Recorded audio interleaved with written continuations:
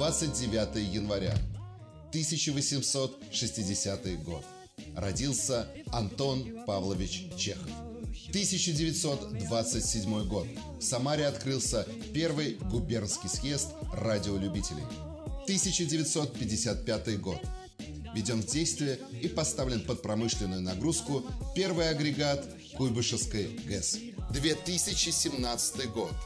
Продолжает идти информационно-развлекательное шоу «Вечер с княжной». Все идет по плану.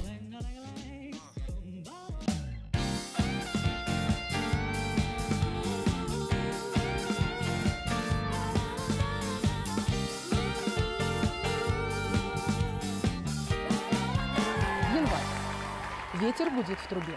К морозам. Если кошка лезет на печку греться, к холодам. Зайцы держатся около жилья, к метелям. Как же скучно мы живем, если перестали все это замечать. А это программа «Вечер с княжной». И я, Наталья Савина. И мы начинаем. Поехали!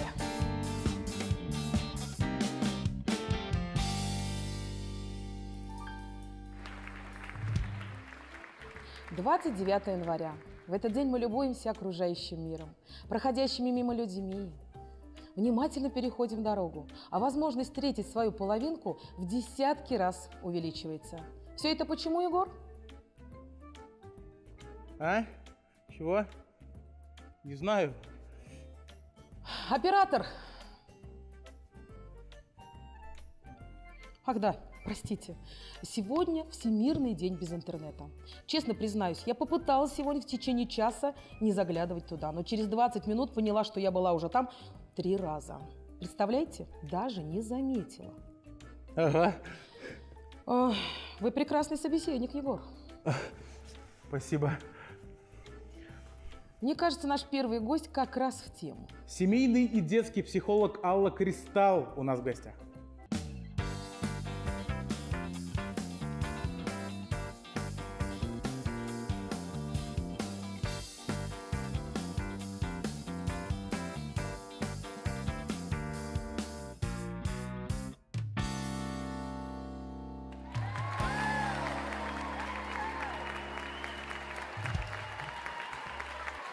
Присаживайтесь. Добрый вечер. Добрый. Вам, наверное, удобнее сидеть в кресле, нежели на диване. Туда вы обычно укладываете собеседников. Была бы моя воля, я бы и на диване полежала. Но у нас сегодня такая тема интересная, Алла. Один день без интернета. Американский психиатр Кимберли Янг выявила четыре признака зависимости от интернета. Первое. Навязчивая потребность проверять электронку. Второе. Постоянное желание очередного выхода в сеть. Третье. Жалобы близких на то, что человек проводит слишком много времени за компьютером. И четвертое. Сетование на растущие расходы на интернет. Что вы можете сказать на это, Алла? Да, все верно. Спасибо. С нами была Алла Кристалл. Всего доброго. Ну а если серьезно, сегодня Всемирный день без интернета. Кто является вашими постоянными клиентами, Алла? Хороший вопрос. Все, кроме бабушек и дедушек. Просто они многие не знают, что это такое, потому как они читали живые книги, писали настоящие письма. Листали настоящие газеты, которые пахнут, которые шуршат. И сейчас этого очень не хватает, и сошло на нет, к сожалению. Скажите, а как думаете, вообще интернет польза или вред? Интернет и польза, и вред. Э, Если с умом подходить, э, смотреть интересные сайты, выкладывать э, свои, может быть, статьи, видео, которые связаны с работой, бизнес хорошо у нас процветает в интернете, то почему нет? А если там э, постоянно живешь вместо реальной жизни, конечно, это минус огромный. Все люди хотят славы и денег. Кто-то больше славы, кто-то больше денег. Кстати, а, в интернете часто мы встречаем, когда а, есть зависимость от того, когда выкладываешь фотографию и быстрее смотришь комментарии. И постоянно залазишь в телефон не по благим делам, а именно посмотреть новый комментарий. И вот это вот селфи, селфи-палка, у нас такая болезнь всемирная пошла, прямое то- тому подтверждение. Причем а, нужно обратить внимание на позитивный комментарий, действительно, откуда мы можем взять а, полезную информацию и расти выше и выше, совершенствоваться. А есть отрицательные э, комментарии, которые, наверное, сложно назвать обратной связью, а это хамство, оскорбление, Э, А и Зачем люди это делают, я вот не понимаю. Это негатив, либо это критика. Вот как распознать? распознать очень легко. Э, Во-первых, обратить внимание, кто комментирует, кто критикует, компетентен он в этих вопросах или нет. А, Во-вторых, обратить внимание а, на, на подачу и на свои чувства. Вот когда вы прочитали комментарий, вам неприятно или вас задело, значит, есть что-то, если задело, значит, есть над чем работать. и А действительно- если обидела просто? А Вот если просто неприятно, просто, обидела, э, пиш- например, написали такое, что ну как не, не- действительно на самом деле. Если обидела, то, э, во-первых, для себя выводы, что, и- ну, если, если это знакомый человек, что он не является уже близким и за границу своего общения. А, я- а второй э, момент, есть определенные практики, которые прорабатывают негативные эмоции и, э, скажем так, себя это все уничтожаешь. А, чтобы- а если насмешила, вот читаешь и смеешься, это, это значит что? Это зна- значит, нужно ответить. Вообще на любые комментарии нужно отвечать. Э, Исключение мат, хамство. А негативное что-то нужно обязательно ответить, дать понять, а, почему так сделана подача чего-либо, да, там, того же видеоролика, той же программы. И, возможно, тот человек, который это написал, он изменит свое мнение и станет э, либо постоянным клиентом, либо постоянным участником программы. Часто Ну. мы сталкиваемся с тем, что мы э, не реагируем, либо удаляем эти комментарии. Это огромная ошибка. Согласна. И здорово, что есть и отрицательно, и положительно. Тогда это э, ну, живое, тогда это действительно существует. А что вызывает такие бурные реакции у людей, когда они реагируют на какой-то определенный, не знаю, на определенного человека? Ну, допустим, наших звезд взять, да? Почему так люди реагируют? Но у нас много звезд, на каких-то э, звезд есть реакция, на какие-то нет. Значит, э, когда есть реакция положительная или отрицательная на звезду, значит, она действительно звезда. Если нет реакции, ну, не звезда. Ал, я для вас приготовила игру, как раз, как раз касаемо звезд. Поиграем? Да, с удовольствием. Давайте. Я приготовила вам фотографии звезд и носы. Вот эти носики вы должны угадать, какой звезде принадлежат. Итак, первая звезда, мой любимчик, Нагиев. Так, Дмитрий Нагиев. Ну, там щетина есть небольшая Мгм. и горбинка. Мне кажется, что вот это. Ну-ка. Ничего себе, правда. Это нос Нагиева. Так, ну следующий наш красавчик. Э, Там покрупнее, по насыщеннее, Мгм. густая щетина. А, подождите, сомневаюсь. Глаза. Хотя глаза нет, подходят. Браво. Это Ургант. Да? Ничего себе. Ну и давайте еще. А, о, а вот этого наверное, вряд ли угадаете. Ой. Мне кажется, вот судя по ноздрям, Наш, наш. прощения, маленький, но такой Ну широкий что же, нос. остается вас Галустян. простить и понять. Нет, Нет? это не тот нос. Не Ух тот. ты. Ну-ка, смотрите внимательно. Ну, значит, вот это точно. Там вот это- Да, точно. Это прощ- прощаем. Это носик был Киркорова. И это у нас Коля Басков. Так, молодец. Спасибо вам большое. Приходите к нам почаще.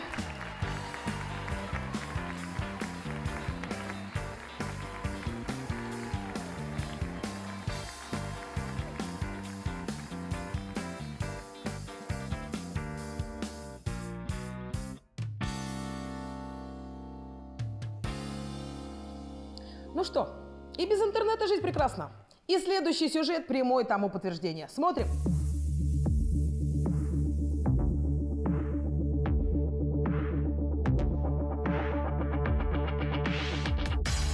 Пятнадцатое 15 января 2017 года, 11 часов утра, автополигон «Сосновка».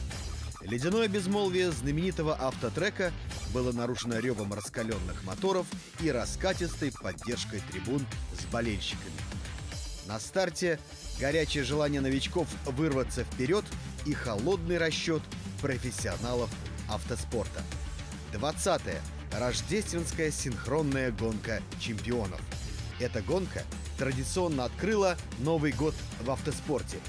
Несмотря на настоящую рождественскую погоду, соревнования собрали рекордное количество болельщиков, фанатов и любителей автоспорта. С самого утра морозный воздух Сосновки наполнился ревом трибун, ароматами шашлыка, горячего чая и настоящего праздника. Крутые парни, боги автогонок в ярких, обтягивающих комбинезонах приковывали внимание сотен фанатов. Некоторые гонщики настолько молоды, что не имеют водительских прав на управление обычным автомобилем. Но что они вытворяют на треке? Это... это надо видеть. Весь пьедестал почета с традиционным шампанским достался нашим спортсменам. Почетное второе место занял Михаил Митяев. Третье место досталось Дмитрию Брагину, а первое место досталось Кириллу Ладыгину. Город Тольятти. Наша съемочная группа и передача «Вечер с княжной» поздравляют наших ребят, наших пилотов, наших победителей.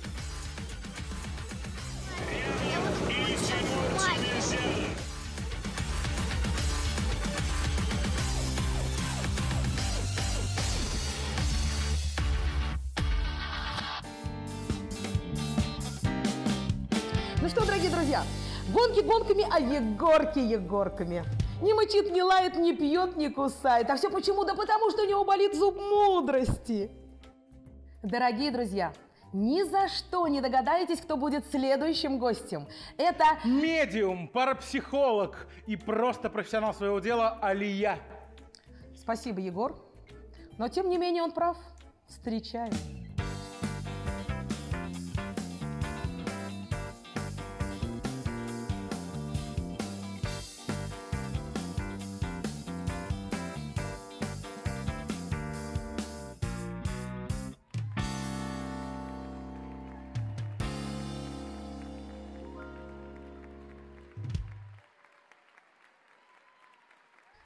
Моя хорошая. Привет, Наталья. Рад тебя очень видеть. Вся такая сверкающая. Ой, новый какой-то костюм на ней классный такой. Ой, а у тебя бабушка пришла, стоит. Тоже в новом костюме. Господи, бабушки моей нет уже 20 лет. Алия. Наташа, ну, ты видишь мой новый костюм, а я вижу твоих духов. Ой, ну охраняй меня, бабушка, тогда. Слушай, ты не боишься жить вообще с этим, а? Вот ты видишь мертвых. Я к этому привыкла, Наташа. И, допустим, люди не, за- ну, не замечают, что они там сахар положили или не положили. Я уже привыкла к тому, что я не замечаю какие-то моменты. Если я хочу это видеть, я настраиваюсь, я вижу. Если я не хочу это видеть, я просто это... Абстрагируешься да, от реальности, да? да. Слушай, ну, я думаю, что э, ту тему, которую мы сегодня затронули, ты знала еще вчера, глядя в свой волшебный шар. В бубен, Наташа, Да. в бубен! Я вчера в бубен била. И так Что ты там увидела? Ты знаешь много чего. Какая тема сегодняшней передачи у нас? Жизнь без интернета. Ух ты! Смотрите, все знает. Ну и каково оно? Что, как с этим злом бороться, расскажи. Ты Вот. знаешь, я не знаю, как мы до интернета жили без него. Когда мы почувствовали, что такое интернет, как он работает, я на сегодняшний момент просто не знаю, как без него жить. Почему? Потому что а, интернет нам дает много. Это общение, это а, э, фотографии, это игры, это можно посмотреть э, любой фильм по интернету. Да. Все, Алия. что угодно. А вот можете ли вы избавить от пагубной привычки постоянно заглядывать в интернет? Прямо сейчас? Нет, я еще не весь трафик израсходовал. Алия, давай этого интернет-зависимого на минуту оставим, пусть он там сидит в своем трафике. А я для тебя вот приготовила игру. Нормальную игру, без интернета. Вот тебе такие... А я уже за... Нет, нет, это мое. Хорошо. Тебе такие фразы. У меня здесь языки. Разные-разные языки. Я вот их мешаю. Я сейчас, не глядя, достаю язык, и ты на этом языке должна сказать ту фразу, которую достанешь. Понятно? Вот не глядя. Давай, читай. Я должна угадать, что это за язык. Скажите, есть ли жизнь в исламе? Китайский. Правильно, Наташа. Какая я умная. Так, не глядя дальше беру. Правильно, нет, взяла? Пришел блогер и все опостил. Французский, что ли? Правильно, Наташа. О, ничего себе. Так, так, дальше. Вау. Чего ты там? Э, Человек-книга. Правда, э, Взрослые люди, давайте лучше сюжет посмотрим.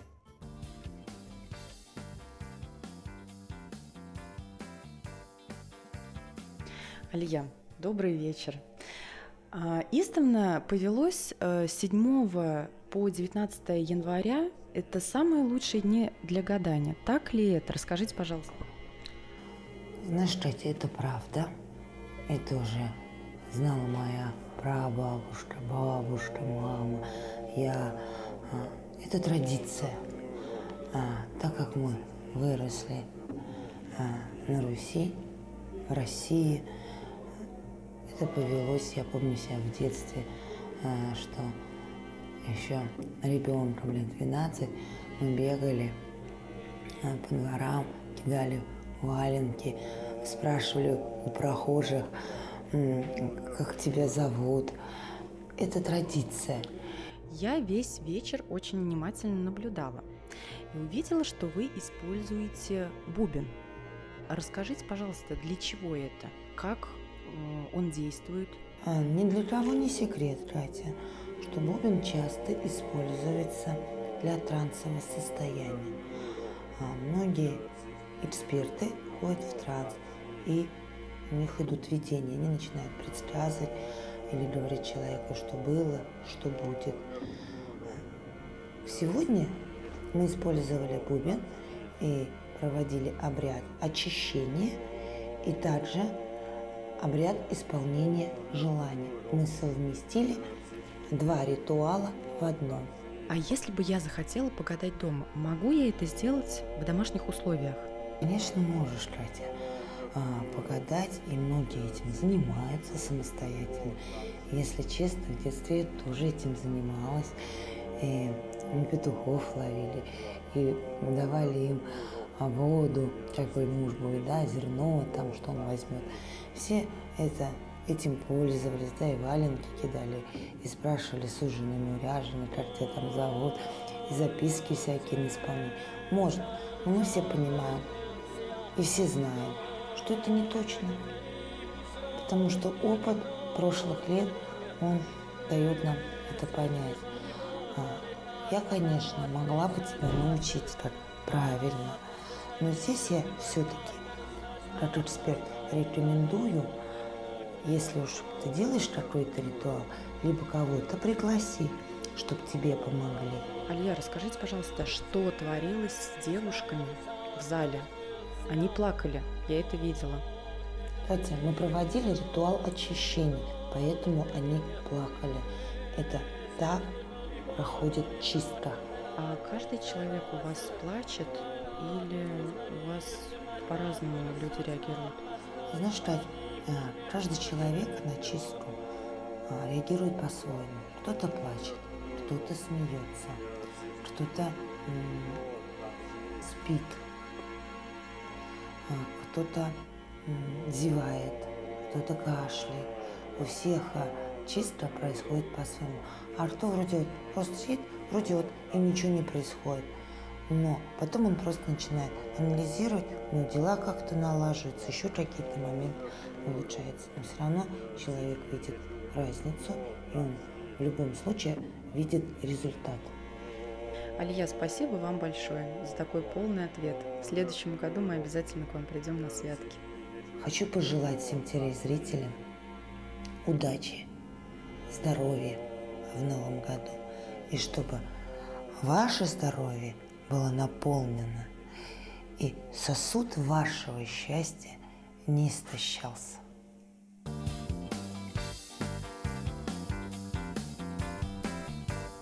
Ну что? Я смотрю, ты весь вечер поглядываешь на эту кружечку. Да, мне очень понравилось. Это мой подарок крошки. тебе, Алиюш, Спасибо, забирай. Наташа, спасибо. Очень приятно. Смотрите. С нами была гостья, замечательный эксперт Алия. Ну а вам, дорогие друзья, хочу сказать следующее. Виртуальная у вас жизнь, реальная ли? Главное, чтобы она проходила насыщенно, интересно. С вами был «Вечер с княжной» и Наталья Савина. Всего доброго!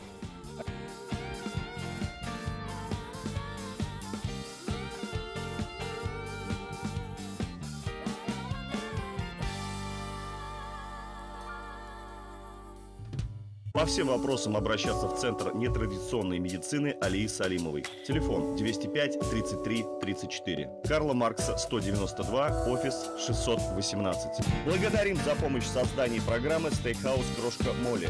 Улица 22 подъезда 46.